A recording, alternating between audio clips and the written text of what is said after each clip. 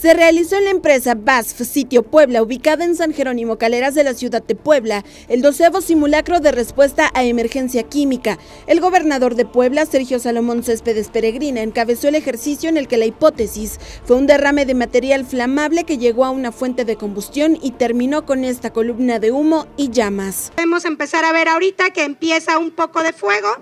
En estos momentos, como pueden ver, tenemos, o nuestro comandante de brigadas nos indica que tenemos tres líneas de bomberos, una que sale de nuestra motobomba, y esto ha sido contenido por personal de BSF, de nuestra brigada de emergencia, para que lo podamos atacar. Y en estos momentos también todas las autoridades se están desplegando se comunicó de igual manera con los bomberos. Como segundo escenario, un grupo de contratistas que se encontraban realizando una ampliación de las instalaciones eléctricas en la bodega de material inflamable realizaron una conexión incorrecta a causa de una distracción, lo que generó un cortocircuito. Se activa ahorita el protocolo DN3 para que nos puedan apoyar en escoltar al personal que está saliendo como lesionado.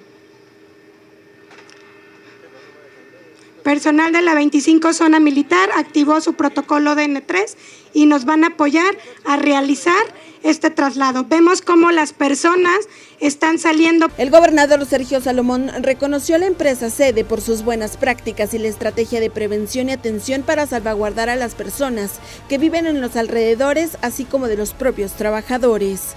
Hoy tenemos un gobierno presente que se ocupa en promover la cultura de autoprotección en los hogares, en las escuelas, en los espacios públicos y en las empresas.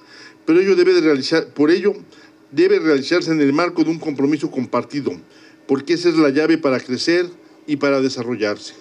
Y hoy estamos aquí con un gran, gran gusto, con mucho agrado, entendiendo que BASF es una empresa socialmente responsable. Enormemente contar con su presencia en este simulacro. Su presencia no solo es un honor, sino también motivo de orgullo para mí. Ambos provenimos orgullosamente de Tepeaca de Negrete.